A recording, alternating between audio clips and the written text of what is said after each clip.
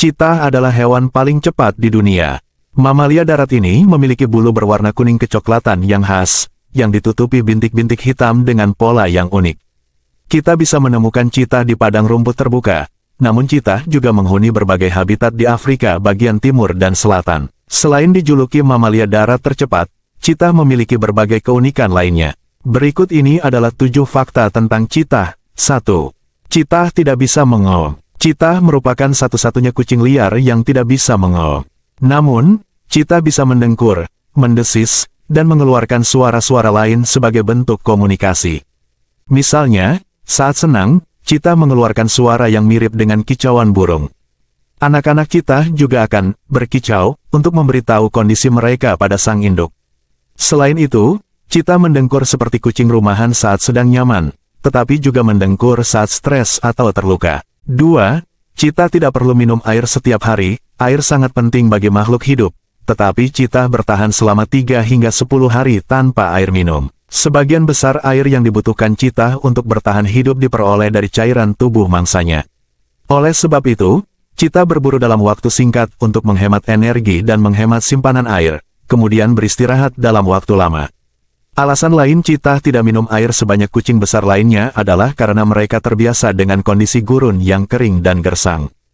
3. Citah memiliki keragaman genetik yang sangat sedikit. Citah memiliki keragaman genetik yang sangat sedikit. Artinya, tidak banyak perbedaan antara susunan genetik antara satu citah dan citah lainnya.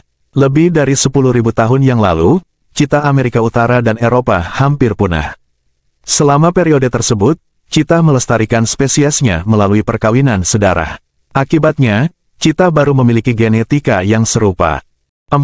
Cita berlari sangat cepat. Cita adalah hewan yang cepat. Mereka bisa mencapai kecepatan lari hingga sekitar 60 hingga 75 mil per jam, sekitar 97 hingga 120 km per jam, dalam jarak pendek, biasanya sekitar 1.500 kaki, sekitar 460 meter. Saat berlari, Kaki cita bisa melangkah sepanjang 3,6 hingga 4,8 meter.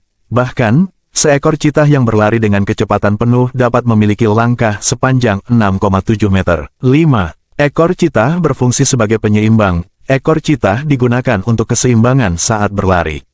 Ekor yang panjang ini membantu cita tetap berada di jalur dan menghindari rintangan sambil berlari dengan kecepatan tinggi.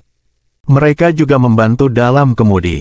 Saat cita ingin berbelok, ia hanya perlu menggunakan ekornya untuk membantu mengarahkannya ke arah yang diinginkan. Selain itu, ekor cita berfungsi sebagai alat komunikasi dengan cita lainnya. Misalnya, gerakan ekor dapat menandakan saat cita senang, takut, atau marah. 6. Cita tidak berburu di malam hari, tidak seperti predator lainnya, cita tidak berburu di dalam kegelapan malam. Cita adalah predator diurnal, artinya mereka adalah hewan yang berburu di siang hari. Ada beberapa alasan mengapa citah lebih suka berburu di siang hari. Pertama, citah mengandalkan penglihatan mereka untuk menangkap mangsa. Alasan kedua citah berburu di siang hari adalah karena hal itu mengurangi kemungkinan mangsa mereka dicuri oleh predator nokturnal. 7. Citah membunuh mangsa dengan mencekik. Saat seekor citah berburu, ia mengincar tenggorokan mangsanya. Citah biasanya membunuh mangsa dengan menggigit lehernya dan memutus suplai udara. Kemudian, Cita akan mencekik mangsa sambil menahannya dengan berat tubuhnya. Metode ini cepat dan efisien sehingga memungkinkan cita untuk menjatuhkan mangsanya hanya dengan sedikit usaha.